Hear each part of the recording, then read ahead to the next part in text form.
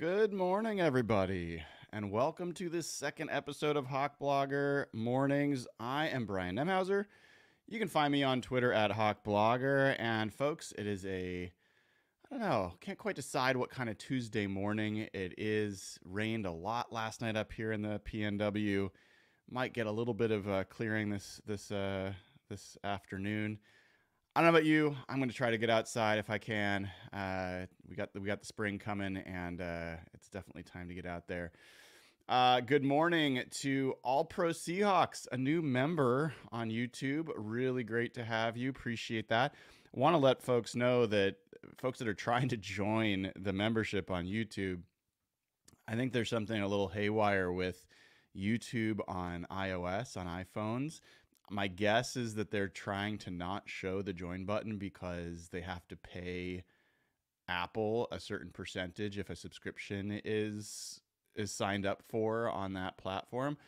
So if you are interested in joining the YouTube membership, which I highly encourage and we'll talk more about, uh, best bet is to go on to a desktop browser, go to the Real Hawk Talk channel, and you will see a button to join plain as day, simple. And then from there on, you should have it available to you on your iPhone and whatever other device you're on.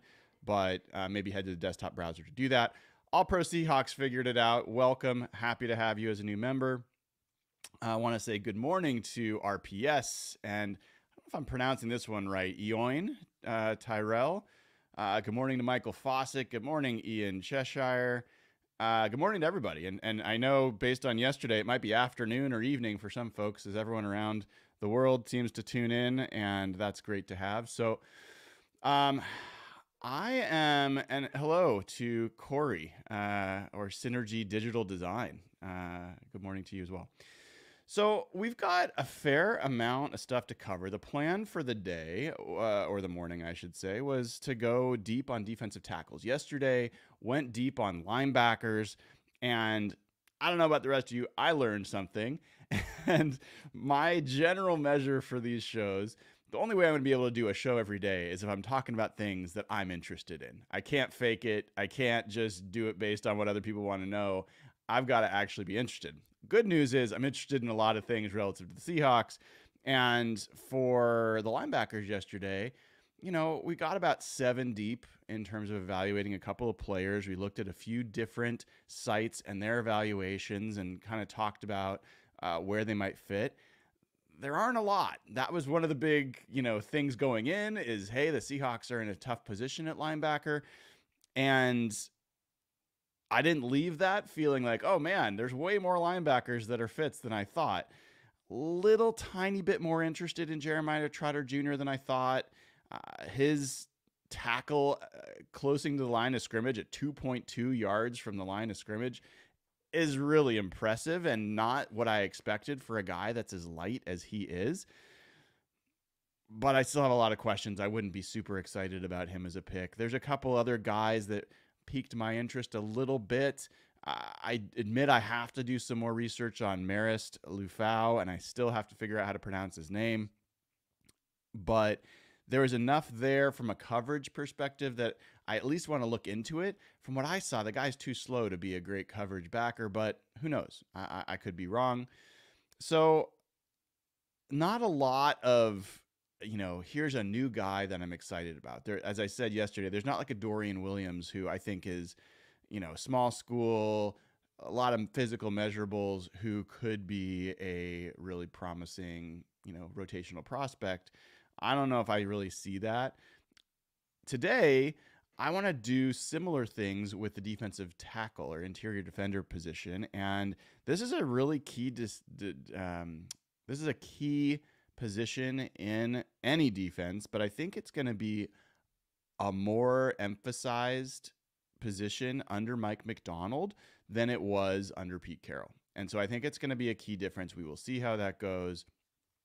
And before I get into defensive tackle, which is where I would go immediately, there is some news that broke uh, this morning in a couple places, and I think I should should uh, at least talk about that. People were very interested yesterday in hearing thoughts about the new hip drop tackle ban. I talked about it yesterday. Quite honestly, I'm not that worried about it. that's just not a rule that I lost a lot of sleep over. It's not a big deal to me. I understand the the uproar, but just not that big of a deal to me. Now, today, a couple things happened. First, um, new kickoff rule. And by the way, that's Finn behind me. You're going to see and probably hear him at some point. If he uh, gets excited about someone in the jogging by the house, I might have to move him, and you guys get to see me walk out of the room for a few minutes. But in any event, for now, he's welcome to join uh, us in the mornings. So, new kickoff rule was announced, and I want to go through it with you quickly because I think not only is it a really drastic change to the way the game is played, but I believe it will have some potential impact on the roster and how what kinds of players make the team. So, what is it? Um, I'm not going to go through it line by line. Um, and if folks want me to, let me know, and maybe I'll decide to do it. But the basics of it you are no longer going to have um, kicking teams lining up, you know, near midfield and then running as soon as the ball is kicked as fast as they can down the field with the receiving team trying to block those players at full speed and the kick returner should they return it you know running into those guys at full speed what is going to what is going to happen now is that the kicker will be, I think, midfield or something like that. I can pull up the exact. Let me let me go ahead and do that just just to make sure. I had this up earlier and I should have kept it up. Um, the uh, the kick kicking team is going to have their coverage unit lined up all at the 40 yard line, 45 yard line, I believe it is. Um, no, it looks like the 40 yard line. 40 yard line. Yes. They will line up at the 40 yard line. Five yards away at the 35 yard line is where the receiving blockers will be lined up. Okay. So they're only five yards apart. Why does this matter? this is one of the things they're really trying to get out of the game is the concussions, which the numbers all show concussions happen significantly more often on kickoff plays than any other type of play in football. So, how do concussions happen? By, you know, dramatic force uh, between two players. And how does dramatic force happen? The faster players are running at opposing directions, the more likely they're going to create that and have concussions. So, when you have players only five yards apart to start with, you're not going to be able to get the same running start. There's not going to be the same type of collisions. And quite honestly, as someone who talked yesterday about how much I love the ferocity and physical side of the game, I didn't get a lot of entertainment value out of seeing guys run into each other on kickoff and kickoff like blocking or kickoff coverage. I wasn't even watching them half the time. So a lot of these concussions were happening with absolutely no hit entertainment value where it's like, oh my God, that's a great hit. These were just guys getting hurt for basically no value um, from a from a fan perspective and really from the game perspective. So now they're going to be closer together. And the other piece here is that the receiving team will have two returners at the five yard line two can return the kick. And there's no fair catch. I think they can down the ball, but um, uh, they the goal is for the kicking team to kick it between in the basically into the red zone, twenty to twenty to goal line, and the idea is I think to get more kicks, kickoff returns back into the game and while it's not going to be quite as dynamic of a play as the original way kickoffs happened, last year basically kickoffs were pretty much out of the game. Other than teams like Pete Carroll's, who seemed to think they had some way of having an advantage to kicking it short, and I, I never got it. I felt like, you know, whatever. Uh, teams were always looking for some way to to have an advantage basically teams were just taking the ball at the 25 yard line or whatever it was and, and starting with, with that. So now there's going to be more likely to have kick returns. What does that mean? Well, it means that there might have been more reason for John Schneider to keep Dee Eskridge around than just to prove himself right about that draft pick. Uh, the Seahawks have, don't really have any returners on their roster, and Dee Eskridge is a guy that's had some experience and had some success, uh, very minor, but some success there. So that might be a place for him. It also might mean that there's players when they go into the draft that kick return capability becomes more interesting than than it was before because frankly there was basically punt returns and not much else. So you could see it have some effect on roster makeup um, going forward. Um, so that's kind of the news on on uh, the the kick rules. I'm gonna take a sip here. I'm gonna do this a little more often today because yesterday there was just all sorts of coughing and and all sorts of nastiness. This is why, you know, I think the folks on the radio shows take a little bit more of a break and often have someone to talk to. So one sec. Okay. Well, uh, that was supposed to mute, but it didn't. I'll get that figured out. Uh, here we go. So, the other bit of news that I wanted to bring up was that Mike Macdonald had a conversation with the media today down in Orlando for the uh, owners meeting. And couple things came out of it. We'll talk about these in kind of order of importance. Um, according to Brady Henderson, um, maybe my most trusted beat reporter for the Seahawks, he says Mike Macdonald called the offensive line a work in progress and made it clear they're not done at guard. No kidding. no kidding. So, uh, good to hear, I guess. It's good not to think that they think that uh, McClendon Curtis is their is their guard of choice or, you know, Anchrum or whoever that guy was that they signed, who I'm, I'm basically choosing to not spend time learning his name because I think he's that relevant. But uh, I think what that indicates that he's talking about it that plainly could be one of two things. One, it could be maybe they're looking to sign Dalton Risner or one of the remaining guards out there. They don't they have the least amount of cap space in the entire NFL as it currently stands. Can always create more, but that's what it is. So it's probably a little less likely that they're going to sign a free agent. I think it increases the likelihood that they could go offensive line in the first round. Now, we'll see, but there's a few things here that point to it for me. One is just the situation on the roster, it's dire. Two, it is a position where there are players worthy of drafting in the first round on interior line. And then three, my guess, just a guess, I can imagine Mike Macdonald saying, Hey, I want my offense to be able to run the ball. I don't believe we are set up to do so we have not done anything in free agency to improve the offense. There's really running it back with even less players on offense than they had before in terms of starters. They lost starters and they didn't sign a bunch of new starters. I can see him saying, "Let's give let's give Mr. Ryan Grubb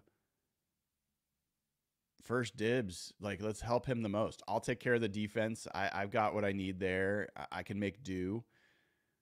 I want to make sure the offensive line. So I think there's increasing signs pointing to the Seahawks going offensive line with their first pick.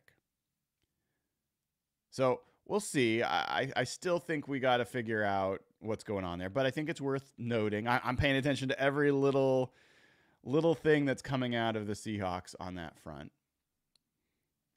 The second thing, uh, at least I'll mention, is that Mike Macdonald said that Uh, I'll read you the exact quote around Jamal Adams. Has there been any consideration of bringing Jamal Adams back? That was the question. Mike Macdonald says, quote, there has. Hmm. We love Jamal, and if it's the right opportunity, I think we would jump at it. But it hasn't been like this long form conversation about it. But he's a guy that we respect a ton. And again, if it's the right opportunity for us and the right opportunity for him, I'm sure we'd be interested in doing that. I'll tell you how I read that. Jamal Adams isn't coming back. I think that was a politic answer. Mike Macdonald being kind. I, I mean, it could happen. I guess the the the the strongest evidence I could say to it could potentially happening is they what we did yesterday. The linebacker room is thin. The draft at the position is thin. Is there some situation where they're like, yeah, Jamal Adams can come in here and be a will for us and be a rotational guy? Sure. I think Jamal Adams is going to have to see a lot of things from a lot of other teams indicating that he's not an option for them at a starting position or at a better salary for that to even have a chance. So I don't think Jamal Adams is coming back. Maybe I'll be wrong. We'll find out, but that's my read on that. The other bit of news relative to Mike Macdonald is he said that, quote, everything is going well with Abe Lucas's knee recovery, but no timetables. Okay, fine. Um, here is the quote, by the way, about the offensive line. This is one I this just got posted about 15 minutes ago. Macdonald said that they're not done adding to the O line by any stretch of the imagination. Quote, uh, quote, by any stretch of the imagination. They've signed George Fant as a swing offensive tackle, offensive tackle, Nick Harris to compete at center. That's some clarity. I, I was pretty sure that's what he was there for, but there was some chance that maybe Scott Huff says, uh, yeah, I know him really well at UW, and he's a guard. He can be our starting guard. Doesn't sound like that's the case. They signed Tremaine Anchrum Jr as a backup guard. Now, here's the quote by Mike Macdonald It's a work in progress, and we're not done by any stretch of the imagination. Obviously, there is some great competition going to happen in that room, and we expect some higher level play this year from those guys, and we're out at work at it. But I think, like, we're not hitting the panic button or anything like that. We don't play until September, so a lot of time to figure out who the right guys are and who the right opportunities are to make the team the best we can. We're not hitting the panic button or anything like that. That translates to we're worried. we're not going to tell you we're panicking, but we're also signaling we're worried. We're not happy with this position. So again, when you've got that kind of angst in an organization about a position that's pretty important now, John Schneider doesn't see, think it's that important, but I think Mike Macdonald does. I think Ryan Grubb does. I think uh, Mr. Huff does. I I just think there's a lot of signs pointing to and, even if you throw into the mix, Abe Lucas has no timetable, but it went well with his surgery a guy that can play tackle or guard sure seems like a likely outcome for the Seahawks early in the draft. So, interesting, interesting notes there. Um, now, let's get into that's kind of a couple news bits of the morning. Before we get into the defensive tackles, the topic of the morning, I want to do two things. One, I want to ask you to give the show a like. It takes two seconds. Just give the show a like. Would appreciate that. Two, subscribe to the channel. Uh, you subscribe to the channel and uh, you'll get notified if you click the bell when we go live, when we have a new show. And I did not set it up this morning, but the intent is that that the chat is meant for subscribers only. So I will make that change to the future. I forgot to do it this morning, but um, you need to be a subscriber to be in the chat, and it's free. So easy thing to do. And then the two other things uh, go ahead and subscribe at patreon.com slash hawkblogger. We had a ton, I think like 10 to 15 new subscribers yesterday at patreon.com slash hawkblogger. Welcome to all of those folks. Uh, they get instant access to the Slack channel. We have conversations. They can ask questions that the crew answers each Wednesday evening when we do the Real Hawk Talk show. And all of these episodes, every single one of them outside of the Real Hawk Talk one on Wednesdays, the audio versions are only going to be available to Patreon subscribers. So now is a great time to join. Uh, easy to do. Patreon.com slash hawkblogger. And finally, I mentioned about the YouTube members. We have a growing group there. Uh, we've had over you know a dozen people join uh, in the last few days. We're going to start having more content for them. And by joining on the YouTube side, there's specific YouTube features. So if you're someone who is primarily taking this content or enjoying this on YouTube, I'd recommend joining there because it's going to let me know if you're a member and I will prioritize responding to your questions and comments.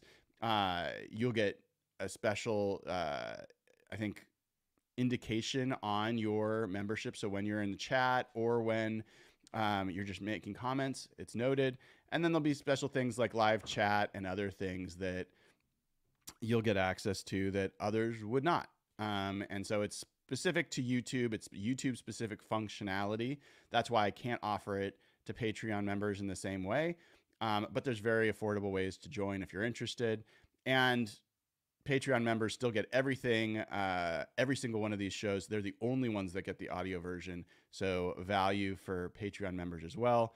Doing my best to make this valuable for everybody and also to give people different ways to, to join and different ways to have uh, uh, different ways to have a positive experience with talking Seahawks and talking all this content.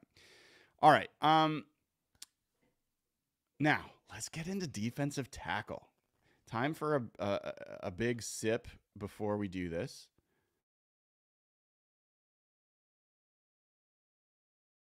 All right. First thing I want to do talking defensive tackles. I want to talk. I debated whether to start offensive line or defensive tackles with today and ended up, you know, I actually literally had started putting together an offensive line show. And then I just want to talk defensive tackles. I like defensive tackles. I like this class. I want to get into it. So, in order to do that, I think one of the first things you got to do is look at what Mike Macdonald, Let's learn a little bit about Mike Macdonald on the defensive tackle side. Uh, I want to thank Corey Coleman, who just joined over at Patreon. Welcome to the crew. Glad to have you. Great to see you there. Patreon.com slash hawkblogger. So if you look at the rosters for Michigan, where Mike Macdonald coached, and you look at it for the Ravens. Let's start with the Ravens. And this is just for last year. If you look, and this doesn't tell you, height and weight doesn't tell you everything about a player, but it does tell you a little bit. It, it's, a, it's, a, it's an indicator, it's a hint, it's a clue. There were four players on Mike Macdonald's roster that were listed as either defensive tackles or nose tackles. And here they are Michael Pierce as a nose tackle, six feet tall, 355 pounds. Now, these are their listed weights. We all know they're widely off, but they're, you know, they're all widely off by sim- probably the same, you know, uh, amount or so. So uh, I think someone weighing 355, Michael Pierce, probably north of that. Big dude. Travis Jones, defensive tackle, six foot four, 338 pounds. Okay. 355, 338. Justin Madubuike, six foot three, 305 pounds. Broderick Washington, six foot two, 315 pounds. Those are the four guys listed there. Now, Brent Urban, I think, also played some inside. He was 6'7, 309 pounds. A couple other things. Now, this isn't deep, this is deviating from the defensive tackle for a second, but I think it's worth just calling out. On the outside, their edge players, you had Jadeveon Clowney, six foot five, 266. David Ojabo, six foot four, 265. Odafe Oweh, six foot five, 257. Tavius Robinson, six foot six, 258. And Kyle Van Noy, six foot three, 250. So what is that? That is a very wide disparity between edge, like end players, and who's playing on in the tackle spot. You're talking about everyone north of 305 on the defensive tackle position. And most of them, average weight is probably 320 plus. And then for the edge guys, you're talking 260. And the average weight's probably in the 250s. You know what you don't notice anywhere anywhere on that roster on the defensive line, whether it's interior or edge, there's nobody who's 280. There is nobody who's 290. Let's pay attention. Come back. We'll come back to that in a second. Now you go to Michigan. You go to Michigan, and let's just look at the last two years of drafts for Michigan. 2022, you had Aidan Hutchinson defensive end, right? And you know, I'm not going to go deep into Aidan Hutchinson, but he is a defensive end, and let's well, let's just double check his his weight. He is six foot seven, two sixty eight.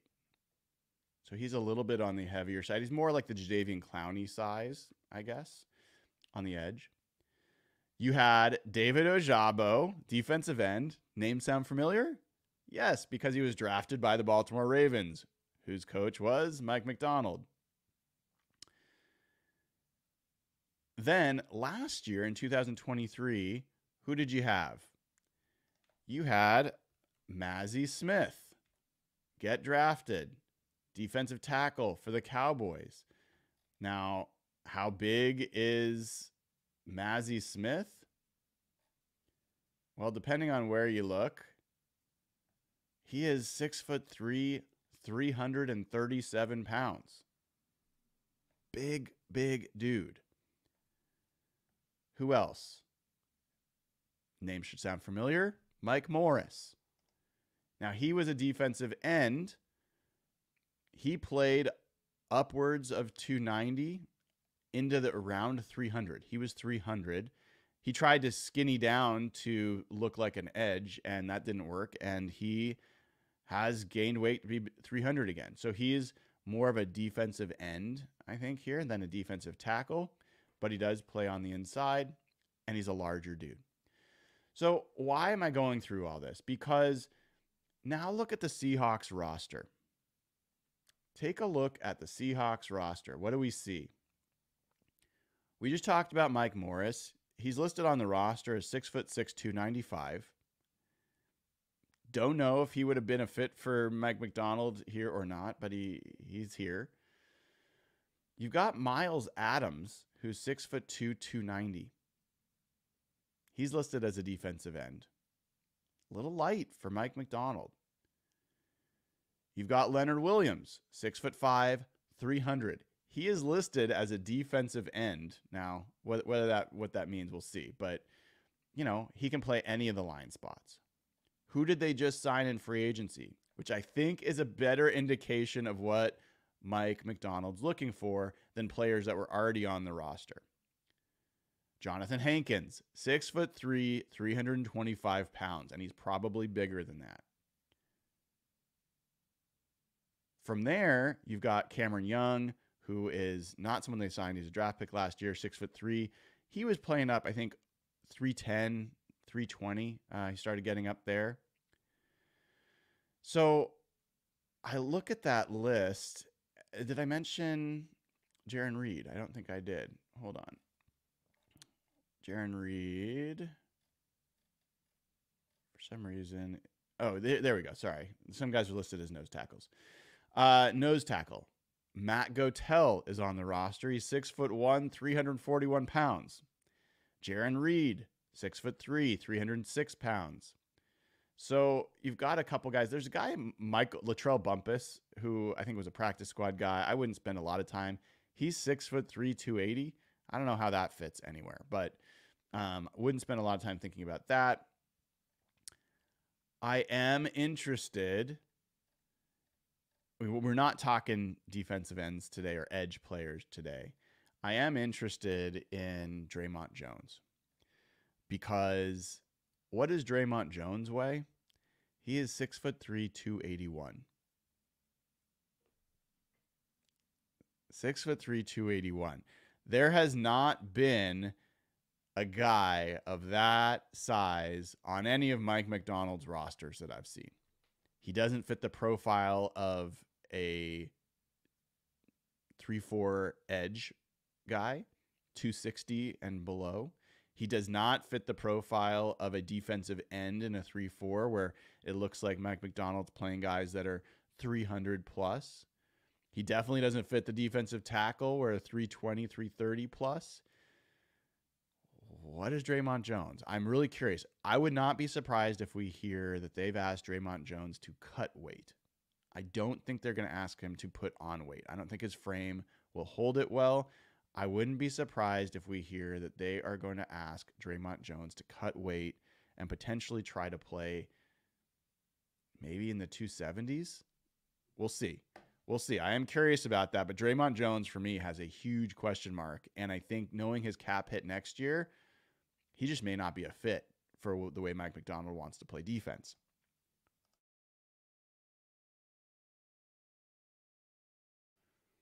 All right, so now let's get into players available here. I am a huge fan of this draft from a defensive interior position. I think there's a lot of guys worth talking about. I don't know that we'll have a chance to go into as much detail about each one of them, but there's a few guys that, man, I just. Let me do this real quick. I want to do this real quick. Uh, yesterday, and we'll do it again today. We're going to talk about more than just Lance Zierlein and the PFF big board. But if you look at linebackers, we talked about yesterday on Lance Zierlein's eight point scale. This is kind of a typical scouting scale.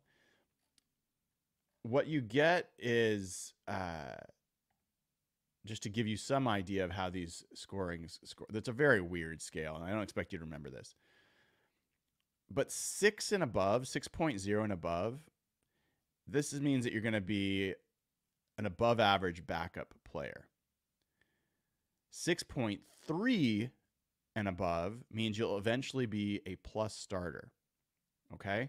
So remember those two numbers 6.0 above average backup, 6.3 eventually a plus starter. Okay?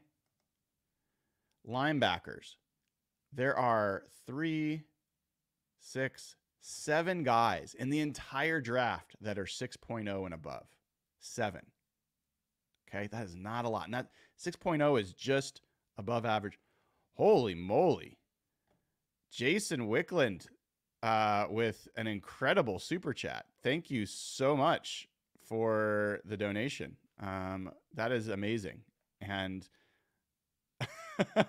you do not see uh, a $500 donation that often and really, really appreciate it. And thank you so much. And that will go to good use.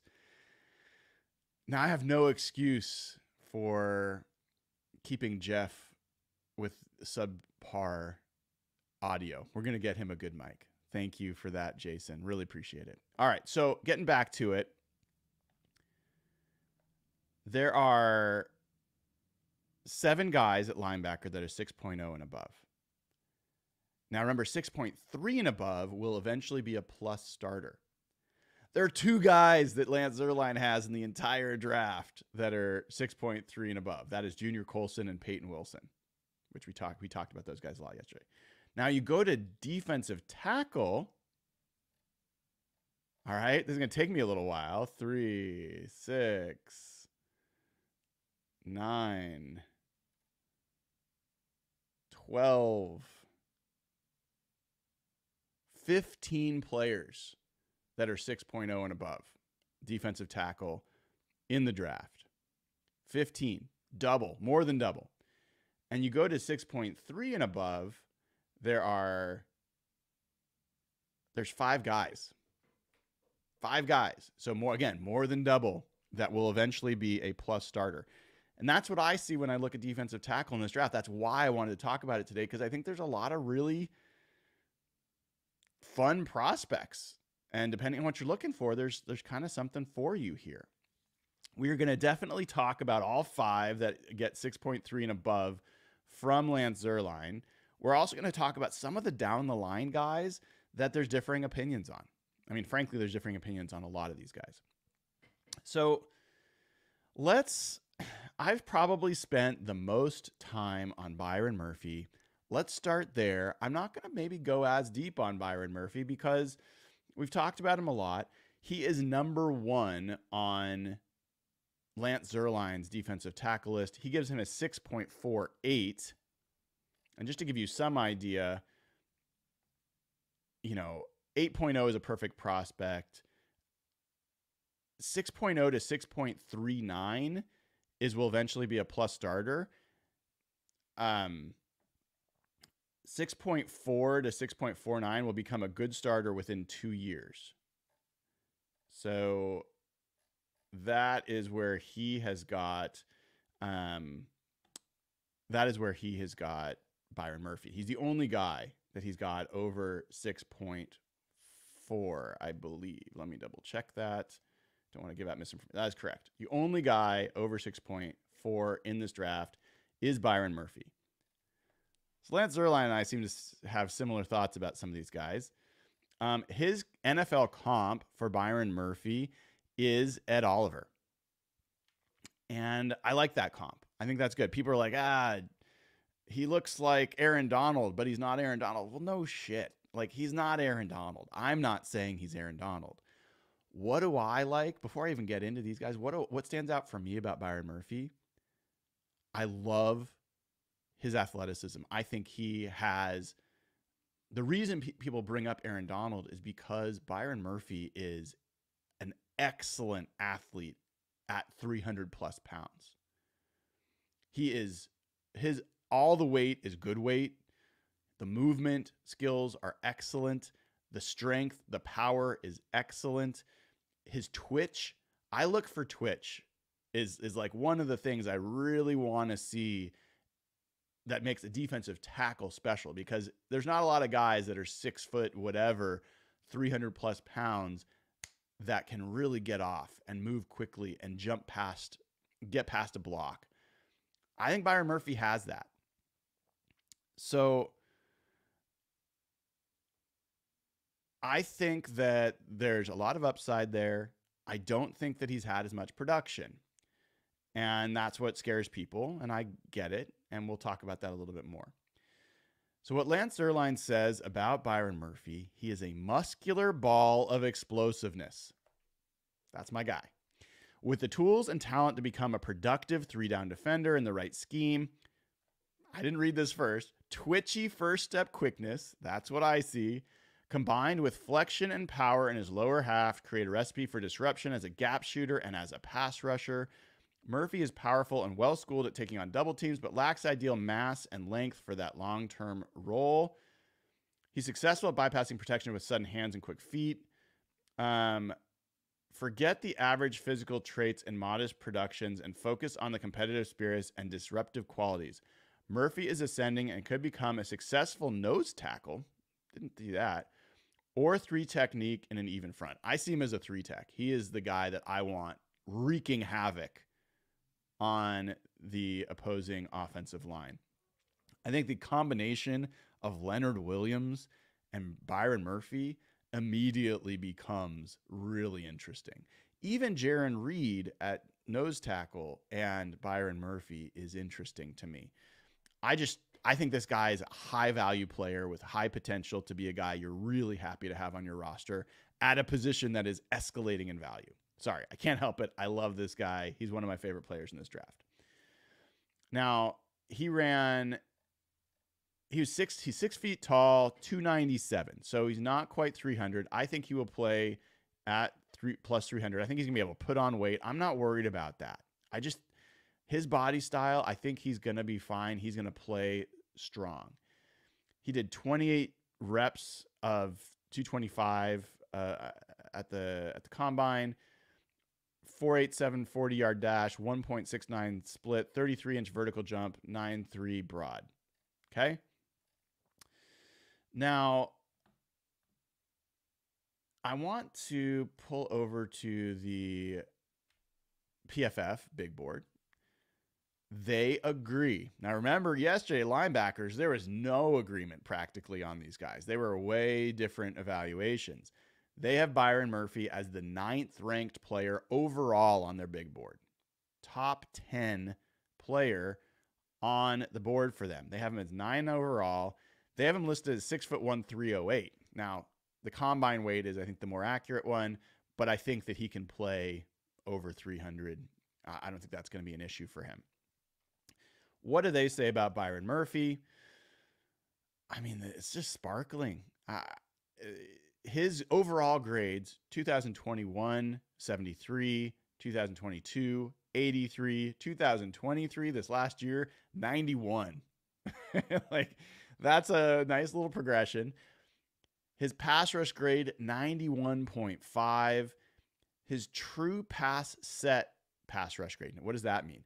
They have a different grade for when it is a known pass situation, you know, third down situation where everybody knows it's going to be a pass. And that is it gives the offensive lineman a chance to know what they're going to be doing and the defensive lineman to know what they're going to be doing and so they have a special grade for that.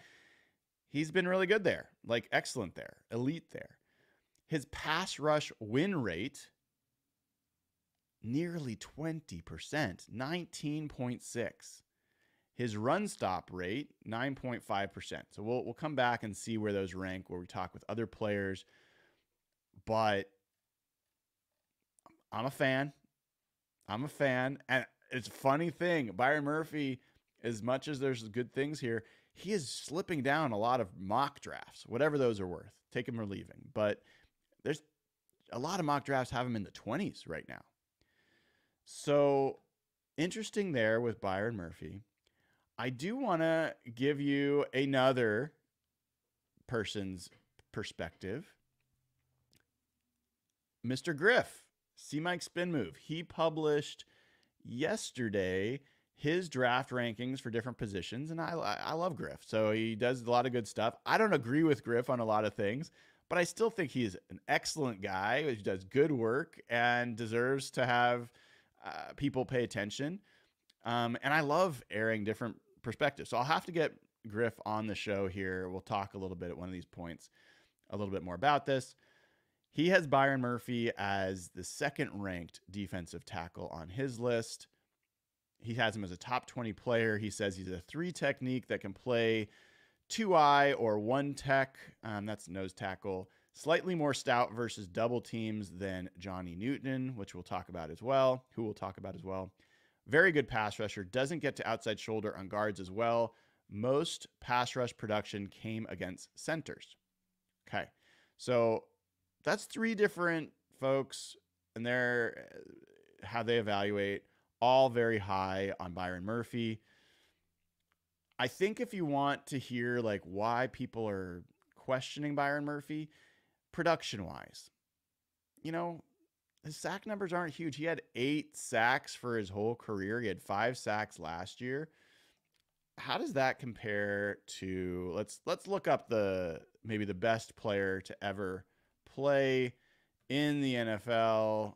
Um, at defensive tackle, Aaron Donald. Aaron Donald, okay. How many sacks? Let's let's take a second and chat.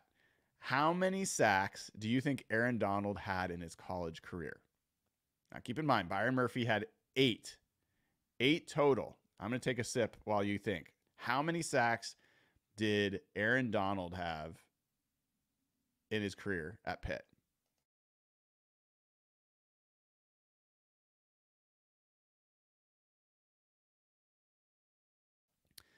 The correct answer is 29 and a half.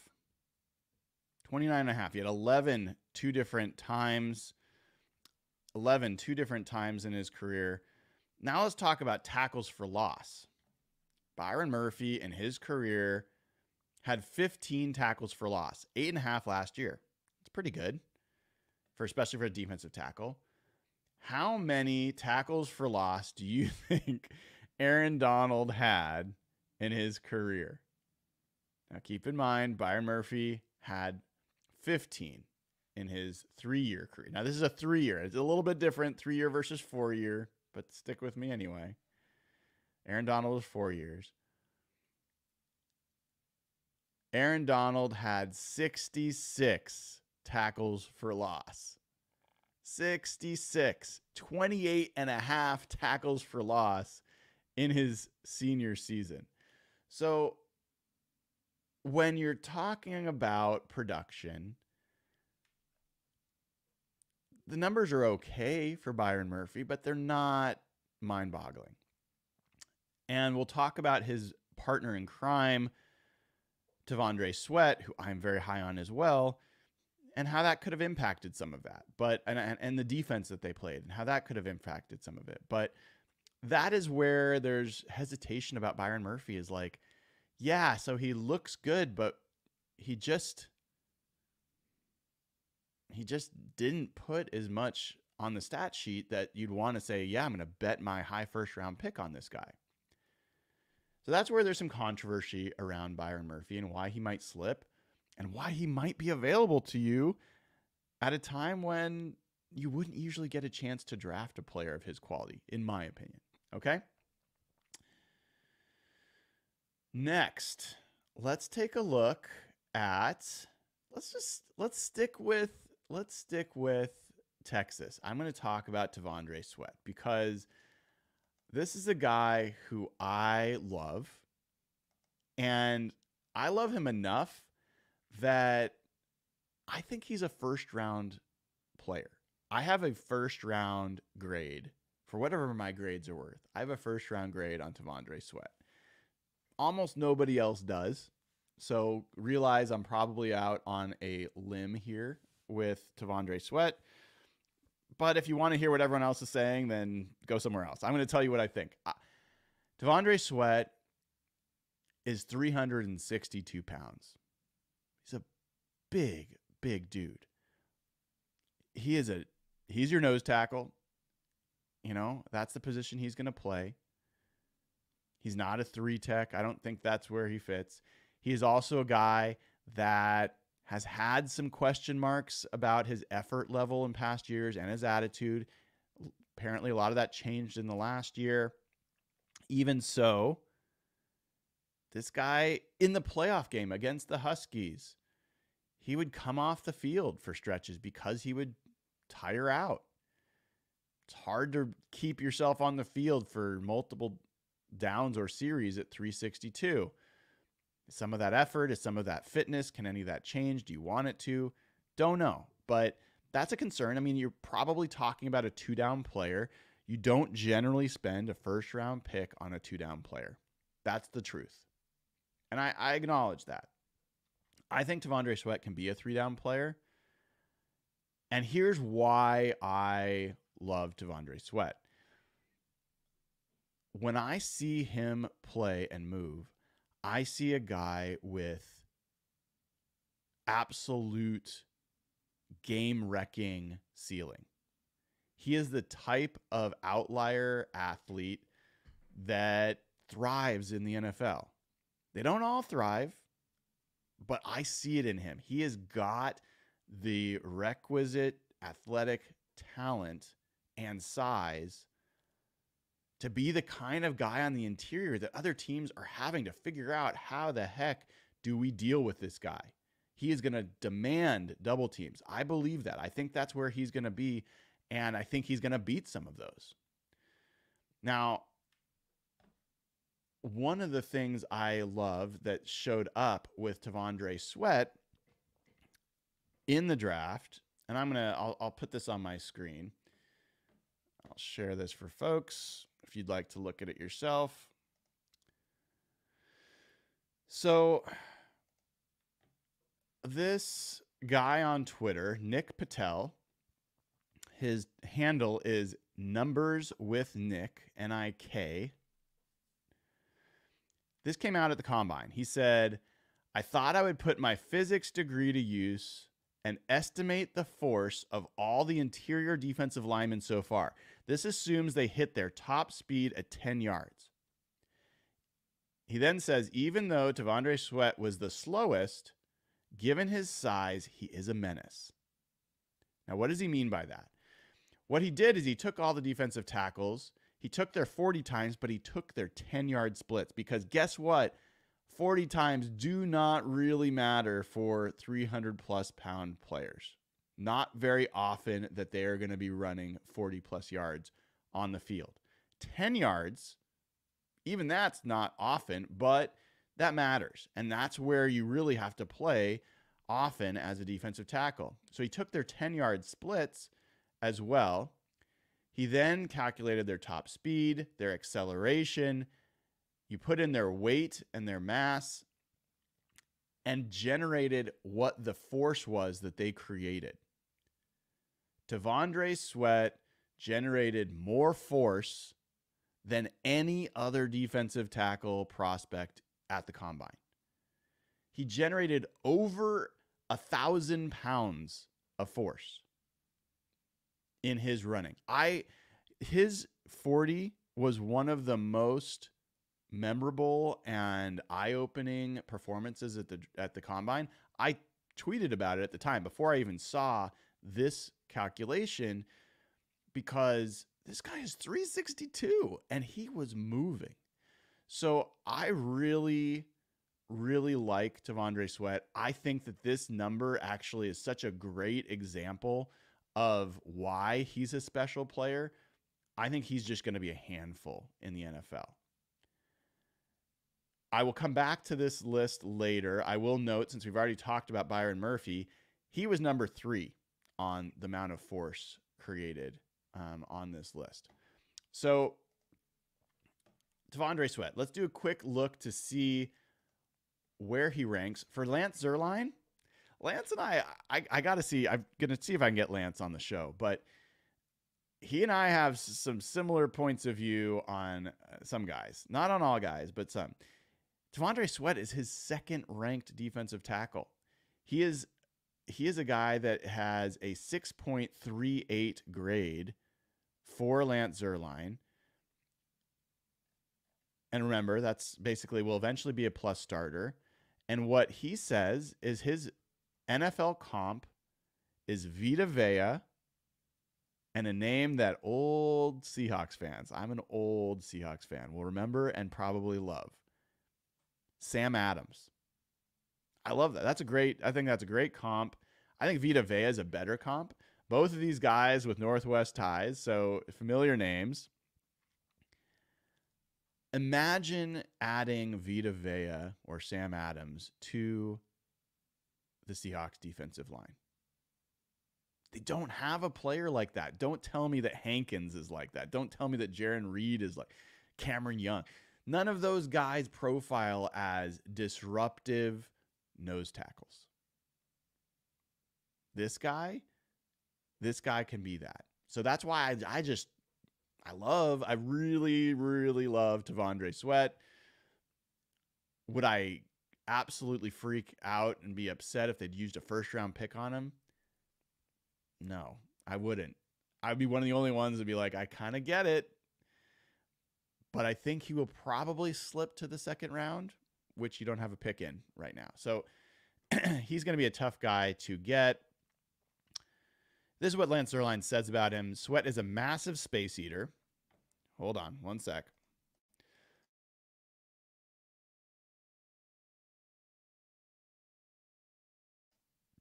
I do not want you guys to have to listen to me clearing my throat.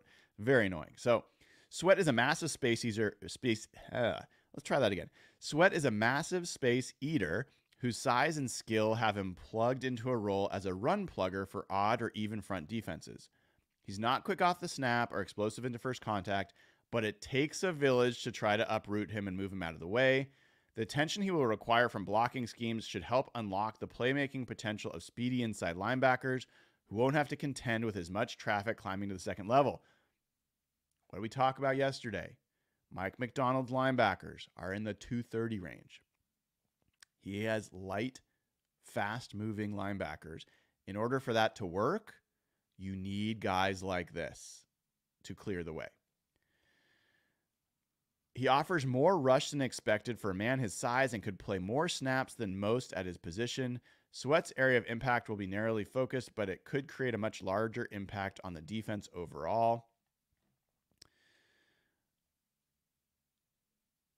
When I look at the PFF big board, they've got him much farther down, so they do not agree. They've got T'Vondre Sweat as the 74th ranked prospect. They've got him, and that's why if you do the PFF mock draft simulator, you can get T'Vondre Sweat in the third round sometimes. Like that's not going to happen. I don't believe T'Vondre Sweat's going to be around at at 74, you know, in the third round. What they have for T'Vondre Sweat, and we'll just go through quickly here. Their grades 71.8 in 2021, 79.5 2022, 91.7 2023. So again, similar progression to Byron Murphy. Pass rush grade 85. So they don't have a bad pass rush grade there. His run defense grade 92, very high. His pass rush win rate 15.3%. Not exactly the the 20% that you're getting from Byron Murphy. His true pass set pass set pass rush grade, pass set, pass rush grade 88.6. So when he knows he's rushing the passer, he's done better. His run stop rate was 12.8%. Now, go back to Byron Murphy, just as comparison, his run stop rate was 9.5. So you see, they're different players. They are different players that fill different roles for you on defense.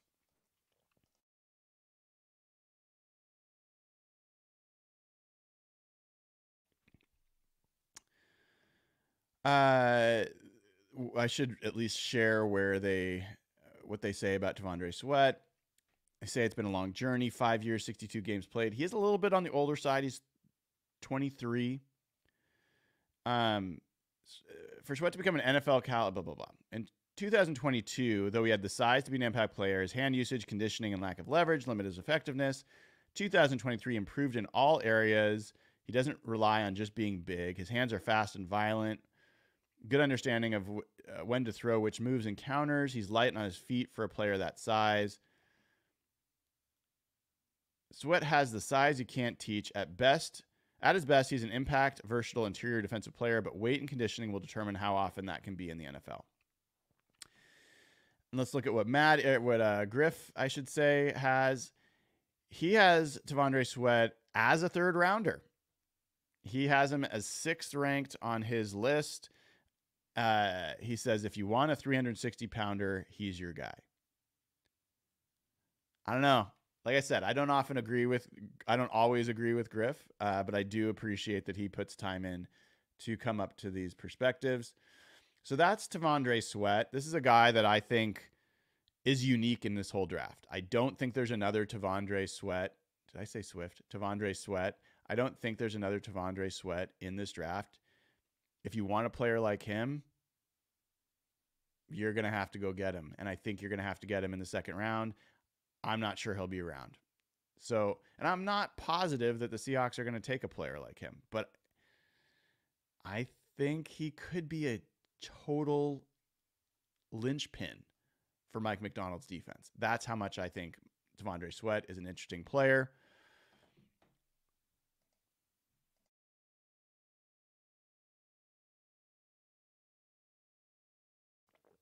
Sorry, folks. I am still getting over this cold, and it's especially rough in the mornings. Um, so, fun week to start the show. Let's keep going. Next guy that I want to talk about.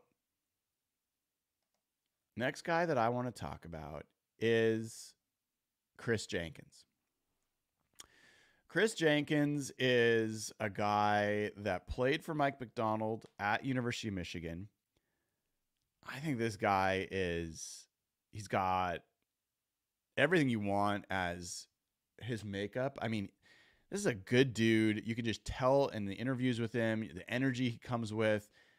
This is kind of the kind of guy you want on your team. And certainly Mike Macdonald knows a lot about him. I don't think that he's got the traits to be a first round pick. I'm not sure even that he has the traits to be a elite defensive tackle. I would call him a moderate ceiling player. Like I can maybe see him being a Pro Bowl player at his best. I'm not even sure about that, but I think he could potentially be that.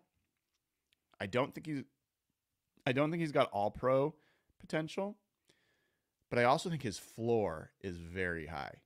I think this guy is very projectable as being a quality starting defensive tackle in the NFL. He is fifth on Lance Zierlein's rankings. This guy is six foot three, 300 pounds. So a little bit light. That's part of it for me. He doesn't carry the weight. His frame, I think he's just a little bit smaller. He's got 34 inch arms, though. John Schneider's going to love that. He loves his long arm defensive lineman. And did I say yes? He was 6.3 raked uh, a rating for Zierlein, which means he'll eventually be a plus starter. Ran a 491 40 uh, 1.7 10 yard split. And uh, Lance Zierlein's comparable is Milton Williams. Milton Williams. Zierlein, I love it when he comes up with guys that I've never heard of. And I'm not afraid to admit when I don't know who somebody is. I'm looking up Milton Williams. He is he plays for the Eagles. He was drafted in 2021 from Louisiana Tech. Uh, he is six foot three, 290, and you know he's been a decent player in the NFL.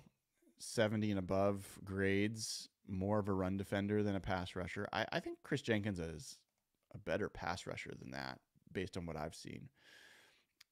So, and again, if you don't already know, he is the uh, son of a four time Pro Bowl defensive tackle in Kris Jenkins Sr. But Lance Zierlein, like I just noted, he says he's got a smaller frame for the position, but he plays with good strength and one on one power swaps, can neutralize single blocks, but has trouble fighting back to muddy his gap against double teams. Motor stays engaged, frequently running down ball carriers and chasing quarterbacks. But that's what I see. I, like he's an athlete. He's undersized, but he's a mover. I don't know if that's a good fit for Mike Macdonald, honestly. Like maybe at a defensive end, I think he could be. Like maybe that's where he fits and could be an interesting thing. I don't know as much about him being a real defensive tackle type guy for Mike Macdonald. Flash is more rush talent, pass rush talent than his than his sack production would indicate, but he still needs to work on developing more go-to moves to pair with his spin counter. He isn't a natural two gapper. Two gapper means you are basically playing even on your lineman and you're responsible for either side of that lineman as opposed to one gap where you're basically shooting into one. Um, but he can play upfield and read and react football on the next level as eventual starter capable of creating disruptions. So yeah, I mean he's he's just a guy who's going to be moving constantly and I think has got the bloodlines knows the game well, great guy. So I, I, think he's a he's an interesting prospect. I don't think he's a first round option. Interestingly, on the PFF side, he ranks quite a bit higher than T'Vondre Sweat. They have him as the 60th on, the board. I would take T'Vondre Sweat over Kris Jenkins every day, and I like Kris Jenkins a lot. Um, they have him. He was a 72 rank uh, grade in 21 81 grade in 22, 83 grade in 23. So Murphy and Sweat were both 90 graded guys this last year. You know, Jenkins has been a very solid, solid guy, not, you know, crazy great. His pass rush grade, not great, 70. Run defense grade, 82. His true pass set pass rush grade is 76, so a little bit better. His pass rush win rate, 11%. Remember, Byron Murphy was 20%. His run stop rate is 12.6, which was similar to T'Vondre Sweat. And if we go over to, to Griff, Griff has Kris Jenkins as his seventh ranked defensive tackle, right behind T'Vondre Sweat. He sees him as an early third rounder, a little light, but technically sound and versatile versus the run. Decent bull rush. I actually agree with Griff on that one. I think where we see that pretty much the same way. Uh, just interesting to see where Jenkins goes, and and obviously uh, Mike Macdonald has a lot of awareness of Kris Jenkins and what he offers. I just wonder if he's a little bit more of a defensive end, and if if that's something that they're gonna value enough to draft highly. So I, I think Kris Jenkins is probably an unlikely candidate for the Seahawks, but one that I like a lot and at least worth talking about. Next guy, we're going we're going all over the place in different order. Let's talk about Braden Fiske. And before I do, let me take a second to ask folks if you haven't already, give the show a like, click subscribe, get access to you know the chats which this today chat is open to everybody. Going forward it's going to be subscribers only. Subscribing is free. Just to be clear you just click subscribe you get access to the slack eh, not to the slack channel sorry you get access to the youtube channel. Um, you'll get notified when new things come out. And you also go to join as a member on YouTube. Now, I've heard that that is not something that is working on iOS devices, on mobile browsers, on the YouTube app, even.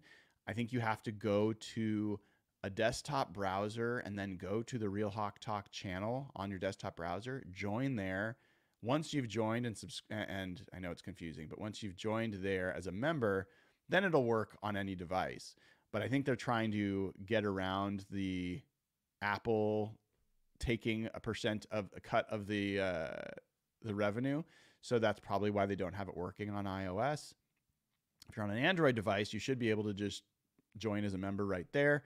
Members are going to get special privileges in terms of answers to questions within chat. You'll show up with a special um, moniker that I will be able to see and answer if you leave comments on videos in between shows, we'll talk. I'll be able to see those and I'll answer those. We'll have some community questions, things like that. And depending on what level you pick, there's different levels. There is the there is uh, all the way up to the suite level. Um, there's club level and and uh, I think there's Hawk's Nest maybe is the the entry level. I'm trying to remember. anyway, uh, but there will be some private q&a shows done just for suite level folks. Um, so things like that that are going to be special values. So join there. And then go over to patreon.com slash hawkblogger all of the audio versions of this show everything outside of the wednesday show that we do with the whole crew those will only be available to patreon members. So patreon.com slash hawkblogger i immediately post the audio as soon as the show's over, I will post it to Patreon. So same day, same hour, uh, you'll be able to have audio access, but you have to be a Patreon member. We had a bunch of new folks joined yesterday. Um, had someone new join today. Corey Coleman joined. Would love to see more people join at patreon.com slash hawkblogger. All right. So we're going to keep going. We're an hour and 10 minutes in, but uh, there's just too much to talk about here. No telling how long we will go today. Braden Fiske. Braden Fiske is a guy that people uh, are all over the place on. He is a combine darling because athletically, I mean, he crushed it at the combine. And let's pull up his numbers there just so people know. And let's be honest, I will be honest. I don't think Braden Fiske is a fit for the Seahawks for a lot of reasons. But we're going to talk about him because he's certainly an interesting athlete. He is number four on Lance Zierlein's rankings for defensive tackles. He has a 6.32 grade, so he's one of the five players that he, that Zierlein lists as eventually being a plus starter. He weighed in at 292 pounds, six foot four inches. And I want to be clear here. I, I think Fiske is a guy that I've seen in some cases weigh in the 280s. I want to double check this because I've seen this in a few places. Um, one sec. Braden Fiske. Wait. Um, I could have sworn I have seen places where he weighed closer to 280. There's some 292. Um, I know I've seen that in a few places, but I think his weight is a little bit on the lower side. So he's not really pushing 300, and I don't think his frame really will hold 300 that way. He has got alligator arms, 31 inch arms. Uh, this is not something that John Schneider usually puts up with. I, I we talked about it yesterday on the show. Arm length has significant impact on the amount of leverage you can get um, as a def- defensive lineman. There are some players that overcome it. In fact, there was one last year. Uh, I'm spacing on his name, but he went to Tampa Bay, and I liked him a lot. Uh, he went in the first round. Um, I got to look him up. Sorry, it's bugging me. Uh, where was it? Yeah, Calijah Kancey. Calijah Kancey. I think Calijah Kancey had arms under under 30 inches or something. I mean, it was really short. Uh, so 31 inch arms, not great. But he runs a 478 40 yard dash, 1.68 split, 33 and a half inch vertical, 10 foot broad, 26 reps on the bench. Um, and here's what Zierlein says defensive tackle with below average mass and length who makes up for it with above average quickness and constantly revving the engine. That's kind of, I, I see him similarly in that he is an effort guy. He's a hustle guy. He's going to be a guy that, you know, is constantly moving and has some speed, but I don't know that I see the physical profile. He's not sudden enough for me to be like a Calijah Kancey. Calijah Kancey was cat like in his quickness. I don't see that level of quickness with with uh, Mr. Fiske, with Braden Fiske. Um, and I just worry he's going to get overwhelmed size wise a lot and that he's going to get handled because of his arm length. But let's just keep reading. Fiske uses sudden hands and nimble feet to whip single blocks. Once he finds daylight, he flies to whoever has the ball. He doesn't have the anchor to sit down and muddy gaps, so scheme will be important for him. Scheme will be important for him. Fiske is a hustle rusher. Didn't read this first, but again, he's, he's uh, lining with my thoughts. Who can win quick or late if opponents don't play with proper hand usage and match his energy. He lacks ideal measurables, but has a chance to become an impact defender. He ranks significantly higher than Kris Jenkins and T'Vondre Sweat for PFF. They have him as 39th on their big board. So just, you know, it's creeping into first round territory, but like early second. His grades were 76.1 and 21.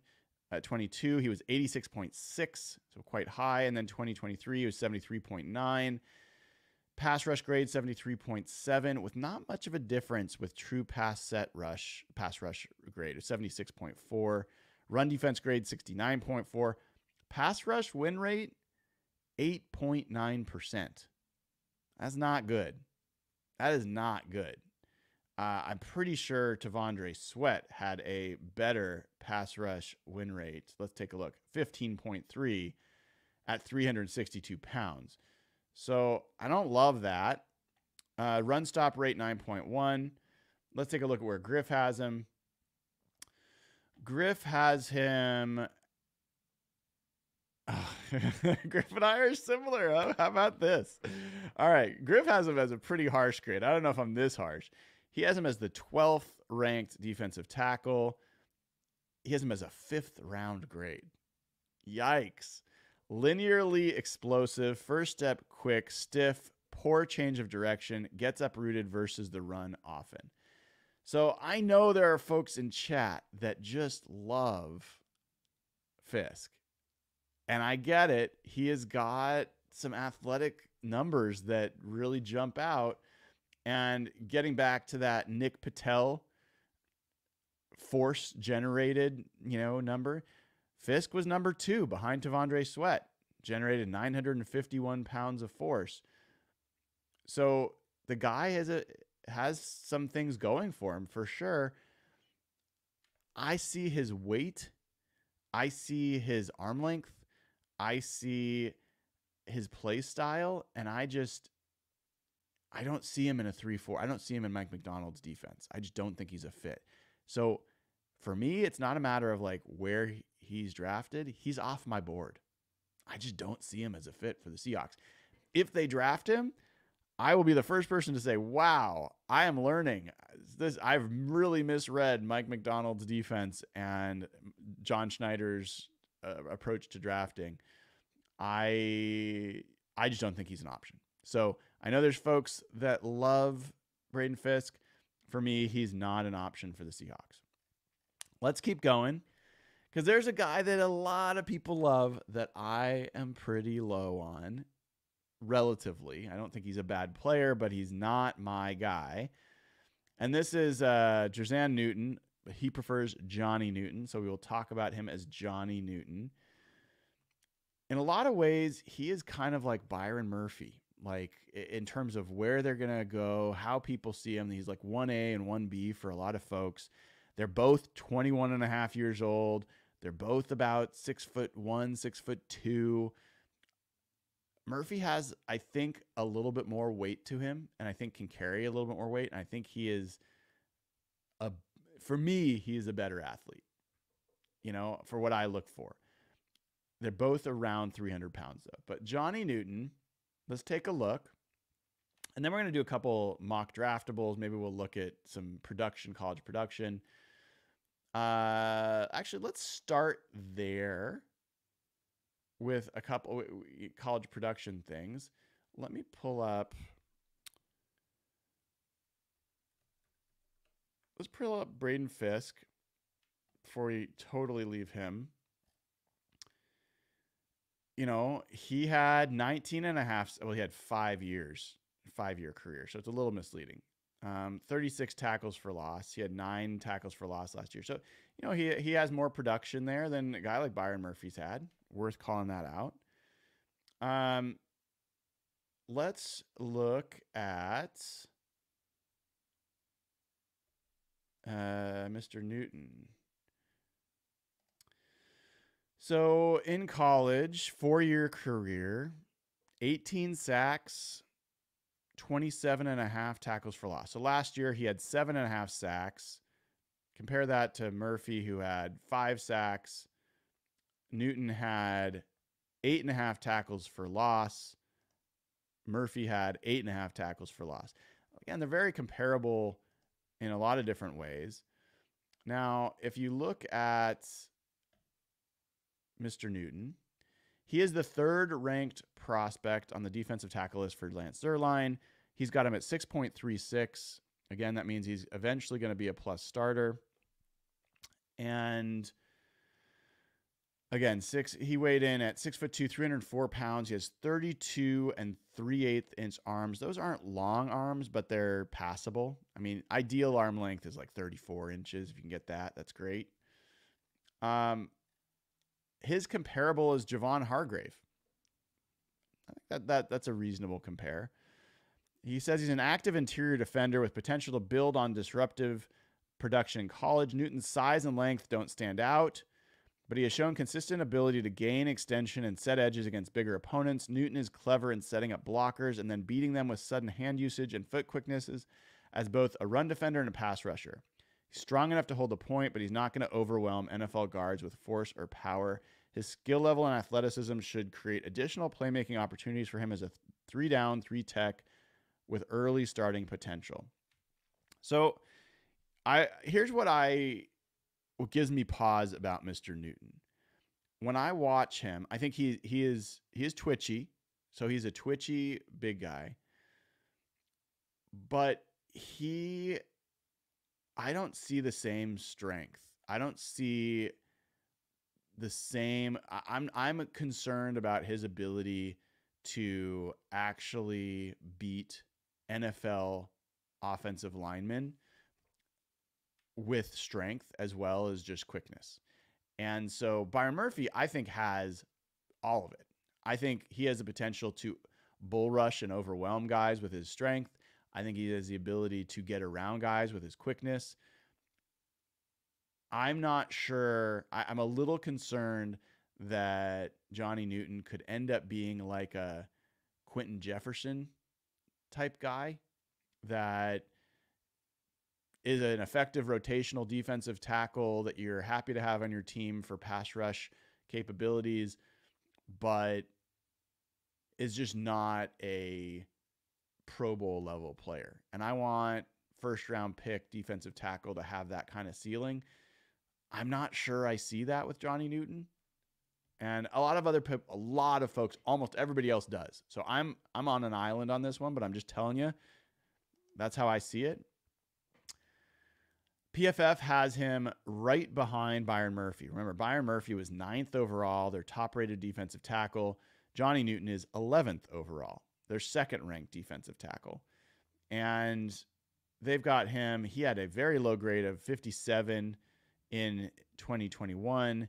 He had a 91.5 grade in 2022 and then an 84.9 grade in 2023. Pass rush grade of 84, run defense grade of 77.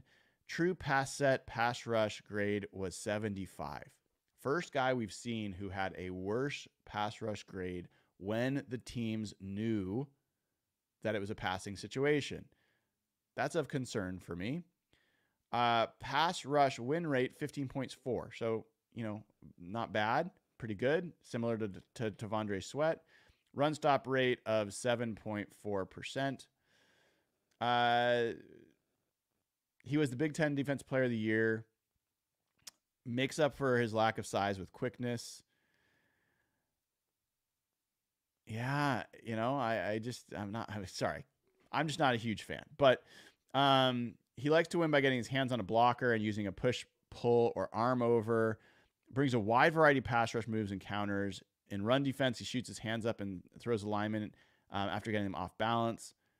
If he does not immediately win, he can get controlled at his lower weight. That's, I mean, that's the thing. Some people see all the things he can do. I see this risk with him that I just don't see as much with Byron Murphy. I think Byron Murphy's got the tools to to to do other things. He is Griff's number one ranked defensive tackle. He has him as a top 20 player. He says he's a three tech that can play big five tech, um, pass rusher aficionado, very good against run, one gap, or two gap. Okay. So that's a guy that a lot of people like. Some people uh, really have him um, high on their list. For me, he's just not as high. Not as high, but you know, I admit this is one of those ones that I could end up looking very foolish. We'll find out.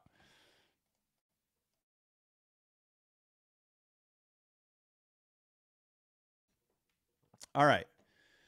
Let's do a few more. You guys good for a few more? We've got enough folks watching. We'll, we'll keep going here. A few more folks that I think are worth talking about. Folks that we want. Actually, let's do let's do some mock draftable before I, I switch over. We're gonna do some mock draftable. Um, if people don't remember mock draftable, um, it is where we see a spider chart of different players. I will share my screen so you guys can see what I am seeing. And first guy we'll look at is Byron Murphy. So his height is the second percentile, not great. He's a short dude. I think that can work to his advantage. I think he can get some leverage from that. Weight, 28th percentile, also not great. Shorter arms, Let's see that. I don't remember that with with Mr. Murphy. What was his arm length? 32 and 3 8 inch. That's not so bad. Um, so not the, the longest, but 10 yard split, 83 percentile, 40 yard dash, 91st percentile, 88th in vertical jump, broad jump, 57th, so above average in, in bench. His comparables, a defensive tackle, Robert Nkemdiche. Well, that didn't work out.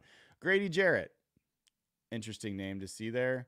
Um, let's look at next guy we talked about, which was T'Vondre Sweat.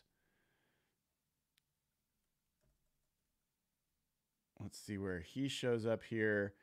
Um, obviously big in the height and the weight, 99th percentile of those.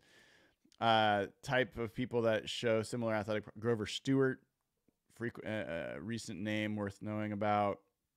Phil Taylor, another one. John Jenkins, uh, all guys uh, in his range. Let's look at Mr. Fiske. Mr. Fiske, Geno Atkins. That's an interesting comparable. Yeah, I can, I can see that. Um, that kind of undersized mover. By the way, I think Geno Atkins for me is the optimistic view. That's the comparable for me on Johnny Newton. I think Johnny Newton can be uh, can be that kind of player potentially.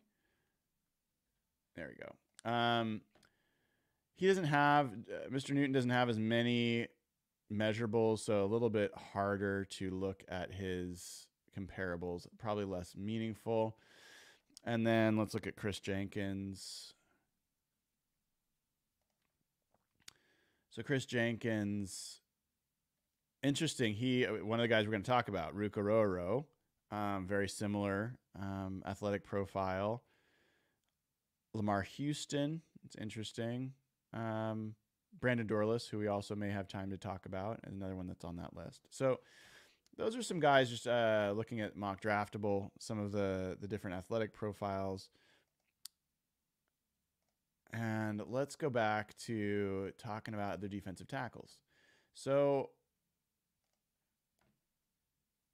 I am going to go next. And by the way, I should I should look at chat here if there's anyone that people are dying for me to talk about. I, I kind of want to go farther down the board. I want to talk about some guys that don't get talked about as much. Uh, we might have to, we're going to have to do a part two. we're just going to have to do a part two because I'm not going to get a chance probably to talk about Maason Smith today. I'm interested in. I think it's probably worth talking about Leonard Taylor. I'm not as big of a fan of his. Uh, I think there's a few guys we probably won't even get to Michael Hall today. So, well, maybe we will. Maybe we will. Well, well, well here's what we're going to do. We're going to talk about Ruke We're going to talk about Michael Hall, and then we're going to call it a day. Okay? That's that's what we're gonna do, and then I'm gonna I'm gonna have more more defensive tackle shows for sure because I, I want to go deeper on this position. If for what we uh, talked about at the beginning is true that they're gonna go offensive line early, that just makes the depth and defensive tackle even more important, and we got to get even deeper to find out who some of these guys are that are options. So, and thank you to MN 10NM, uh, who says he loves the episode. I'm glad.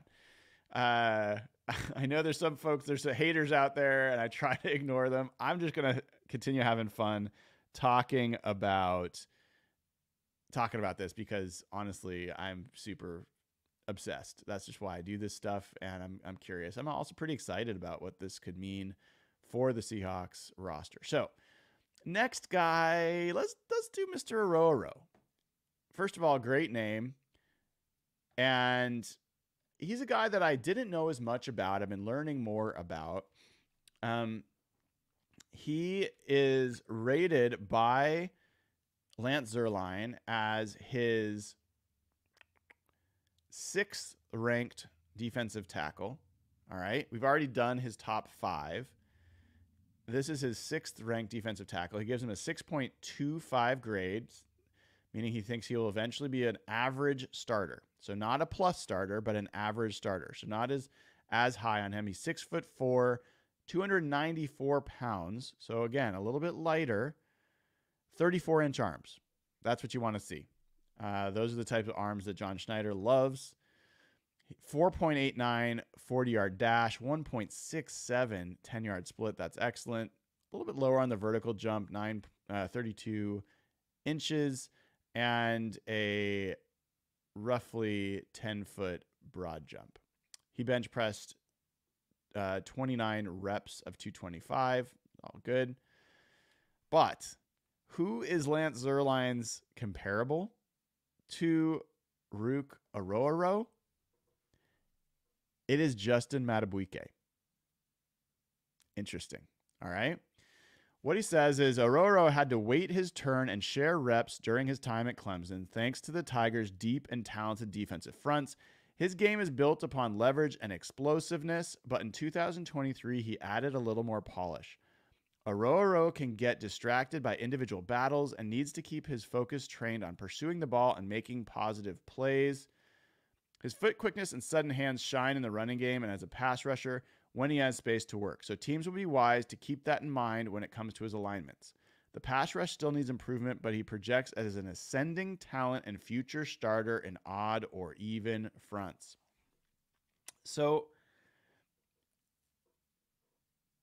in a lot of ways, I see him as a cheaper version of Johnny Newton. I think this is a guy that you could get definitely in the second round, maybe in the third round. Kind of see how it plays out. But I don't think he looks like this guy that is clearly going to be a starter. I think he could be a very advantageous rotational defensive tackle and a guy that you can develop. I think his frame can add more weight. I think he could be a much different player in two years than he is right now. Johnny Newton, who I think is a good player, I just don't want to spend a 16th overall pick on him. I don't want to spend a 24th overall pick or whatever it ends up being in the first round. If we were talking about Johnny Newton in the second round, that's different. Although still for me, I don't see the fit as much. Um, I think that Ruke Orhorhoro, he's raw enough and his body type, I think, can put on a lot more weight. Where I just think there's something there where he could be an interesting fit for the Seahawks a little bit later. PFF has him ranked as the fourth best defensive tackle ahead of Kris Jenkins. Kris Jenkins was the 60th ranked on their board. Ruke Orhorhoro is 54th. Okay. What they have to say about Orhorhoro is, uh, well, first his grades. He was 66.9 in 2021. He was 78 in 2022. He was 76 in 2023. These aren't great grades. They're like fine. Like this is not a guy that's, you know, really flashed. His pass rush grade 67, not great.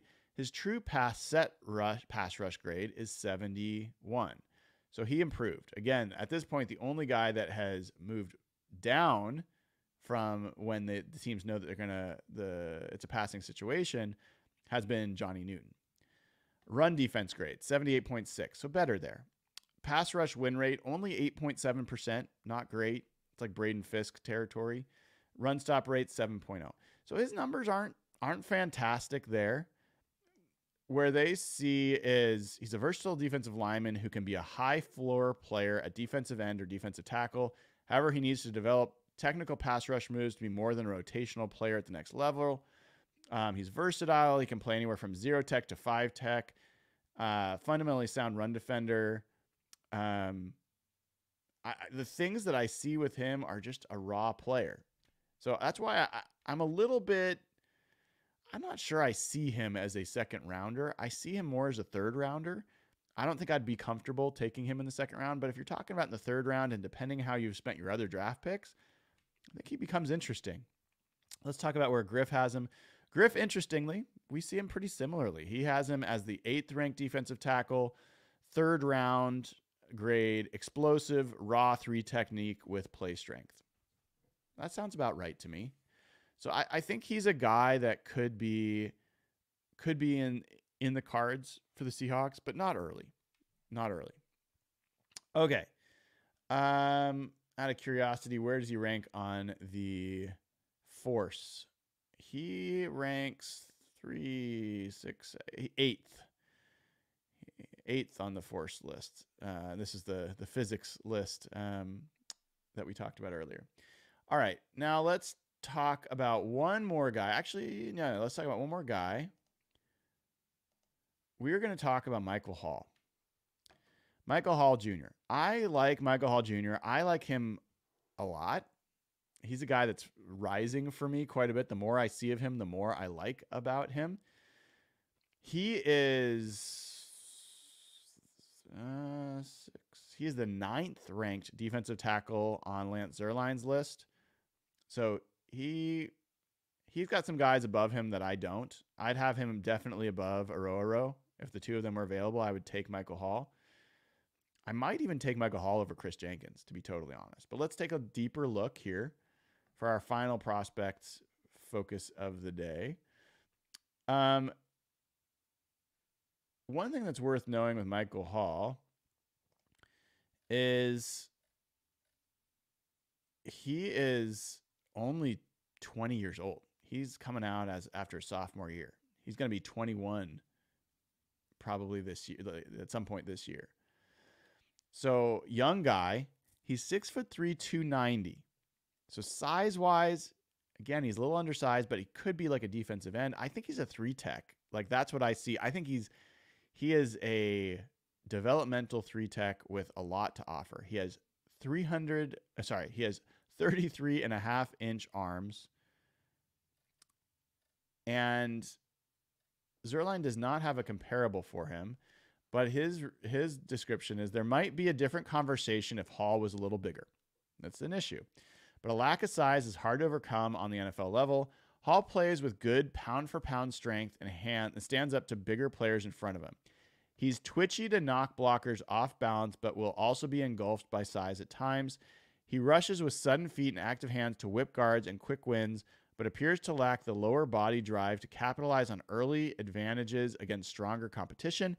Hall needs to add mass, but should compete for a backup role early on and has immediate sub rush potential as a three tech in a one gapping scheme. Uh, also mentions he was dominant at the Senior Bowl at times.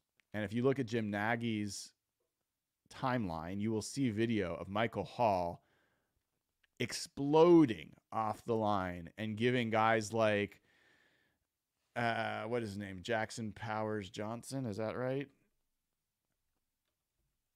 Yes, Jackson Powers Johnson. Rocking him back on his heels. He has got speed to power. That's a scout thing, but it's the thing where he can create, even though he's undersized, he can create more force with his athleticism than a lot of other guys that are bigger than him because of how explosive he is. So I really like his his overall makeup. I want to do something else here real quick. I haven't done this yet. Um, I'm just doing a quick check on this. Where? Da, da, da, hmm. So let me let me find let me find RAS scores here. Um, if you haven't followed Math Bomb, M A T H B O M B, I would suggest doing that. Um, he does RAS scores. Let's see if does it have it searchable up there. Do I have to be a member? Um, oh, look at that. Love it. Okay. Defensive tackle. I did not know this. So if you go to ras.football, he's got all the scores up there and you can do it by different ranks. Um, and let's just look at Michael Hall.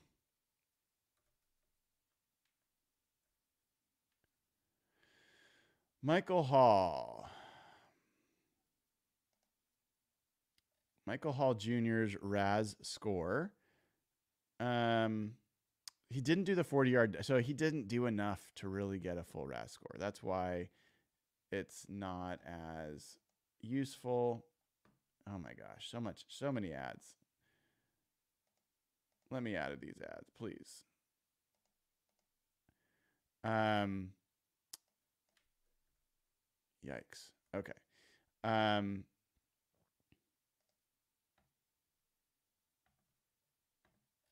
sorry folks. I'm i'm exploring this in real time. It's not the best for you guys to be probably listening to this but i'm really curious. I want to get back to michael hall on this. So uh, come on. Defensive tackle. All right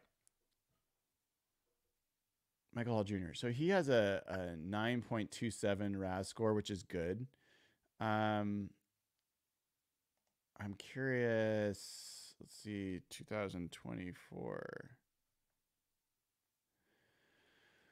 Uh,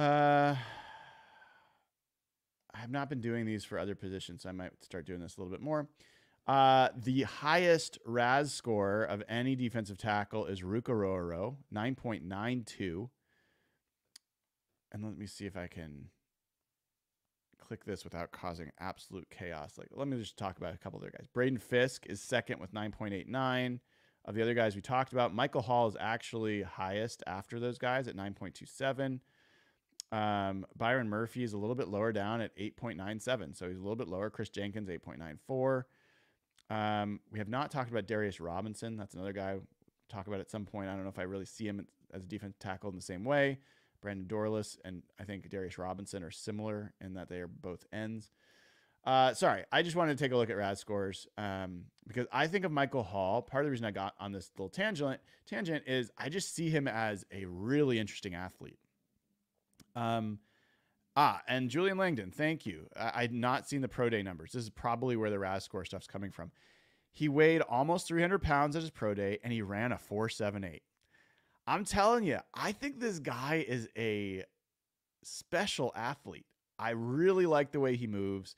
He is twitchy. He he might be twitchier than Byron Murphy. And I, I really like Byron Murphy's movement. But Michael Hall is a guy that I think is he he is someone I would be okay in a second round pick, depending on where he went in the first round. I think he's got really high potential, um, high ceiling. His grades, just to quickly go on PFF 60.4 in 2021, 80.3 in 2022, 77.2 in 2023, pass rush grade of 85, true pass set pass rush grade 88. So again, he goes up and he's getting into elite territory there. Run defense grade not as good, 69.5. Pass rush win rate 18.3. Remember, Byron Murphy was up there at like 19%. 20%. Um, so that's really good. That's a really good pass rush win rate. Pass rush win rate. Run stop rate 7.3. Uh, what they say is Hall's measurements make him a tough player to slot into a specific scheme due to how quickly he can win with finesse on the interior. His best spot in the league is likely as a defensive tackle, defensive end, and a versatile 4 3 front. His pass rush abilities give him a chance to be a productive pass rush specialist. Um, they say at six foot two, Hall is not long enough to be a three four defensive end. Um, these are based off some old numbers though, in terms of they're talking about him as 280 pounds. His pro day being at at 300 pounds is a big deal. So uh, we got a nice uh, chat here, a super chat from one of our members as well, uh, Eric Kinneman, who thank you for joining and being a member. It's a great day when you have a cup of coffee and enjoy real Hawk Talk. Thank you, Brian. Well, thank you, Eric. And good reminder to join the YouTube channel. Um, you can join as a member. If you haven't already subscribed, you should. Uh, absolutely worth doing. Click like, please. I think I'm supposed to say smash that like button. Although you know that's what my, all my uh, all the shows that my kids watch say that.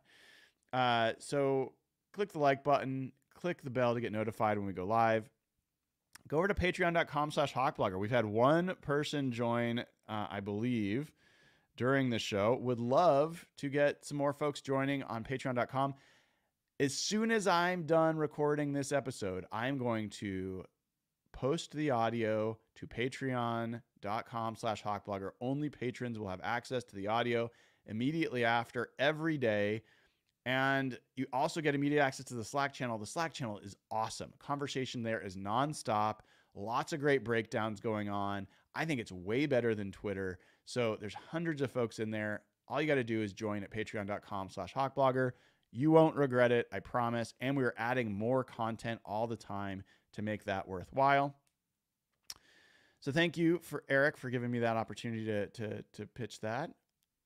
So we've talked about guys today. There's a bunch of guys we have not talked about. And guess what? We got that's why I'm doing these every day. There's just too much to talk about. But we've talked about Byron Murphy. We talked about Johnny Newton. We talked about Braden Fiske. We talked about Ruke We talked about Kris Jenkins. Talked about T'Vondre Sweat. We talked about Michael Hall. Okay. There's other guys to talk about here. We haven't gotten into the Khristian Boyds of the world.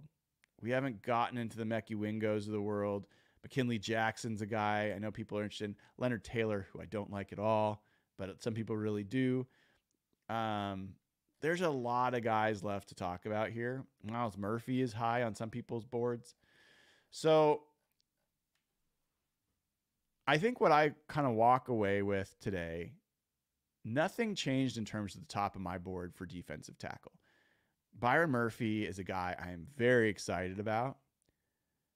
I think I am like Lance Zierlein in that my second ranked defensive tackle for the Seahawks is T'Vondre Sweat.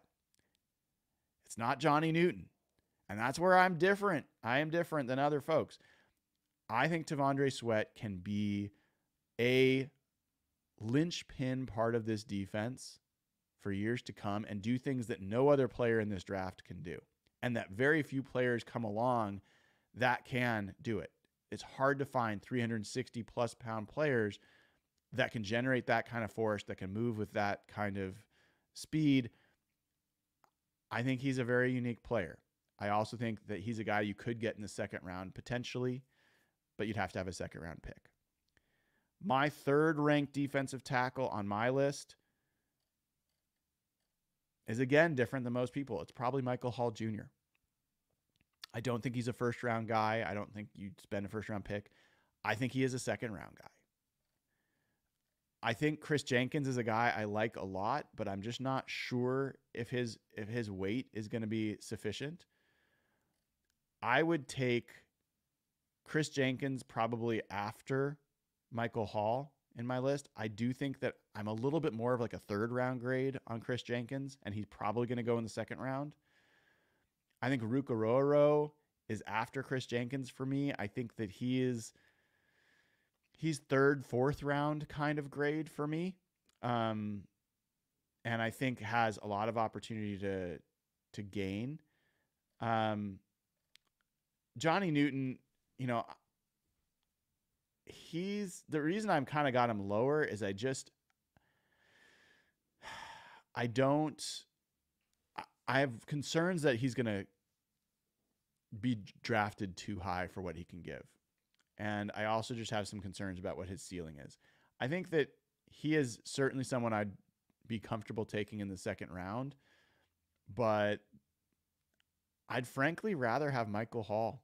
And that might make me crazy, but I just like what Hall at 20 years old, who's already putting on weight, 300 pounds, and running 487s. I just think the upside for Hall to me is more interesting. I think Newton might be more of a an effort guy, and I think Hall might be more of an athlete guy. So that's just my read. I know that's crazy for some folks. Braden Fiske is off my board. I just don't think he's a fit for what the Seahawks are doing great athlete, but I don't think he's a fit. Folks, thank you for joining. That was nearly two hours this morning uh, of the show. Uh, we are already scheduled for tomorrow morning and Thursday morning. Tomorrow morning, gonna have Mitch Levy, formerly from Mitch in the Morning, uh, on the show. He's to join us. We'll talk a little bit of Seahawks. We'll talk a little bit of Mariners. So I know some folks are like, only talk Seahawks. And I get it because I've turned into sports radio and I'm like, will you just talk about the Seahawks? But I got to talk about the things I'm interested in. That's how this show is going to work. I will also pay attention to feedback, but we'll talk a little Mariners. It's opening day Thursday. And Thursday, we are going to have Jason Churchill um, uh, join the show, a prospect insider. He's going to ask me Seahawks questions. He's a Seahawks fan and he looks to me for answers. I am also a Mariners fan and I'm going to ask him a bunch of questions because opening day is Thursday and we're going to have to talk some Mariners baseball. And then likely Friday, we will get back to um, talking about these prospects. Probably won't continue on defensive tackle. I'll probably come back around on these positions. Most likely, the next position group I'll go into is offensive line and, and specifically interior line. Uh, most likely it'll come up on Friday. I hope you guys are enjoying the show. I'm enjoying starting my day this way, and I really, uh, uh, I gonna see how this feels doing daily shows for the next 30 plus days as we get ready for the NFL draft. Again, please click the like button, click the subscribe button, join as a member on YouTube, and go to patreon.com slash. Sign up right now, get instant access to the Slack channel, and just in a few moments, you will get access to this show in audio version. All of these versions of the show will only be available on patreon.com slash hawkblogger. Until tomorrow, folks, have a wonderful rest of your day and uh, go Hawks.